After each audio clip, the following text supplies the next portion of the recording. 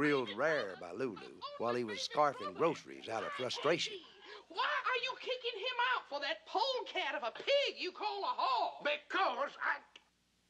Because I. Oh, dang it, I just don't want to discuss it. Well, I do, and until we discuss it, and until you give Rosco his job back, you are going to have to find another place to feed your face and lay that body down. Now, I mean it. And I mean it. Oh, Lulu, I can do. Please, I don't mind about the laying down, but I sure gotta have the feeding.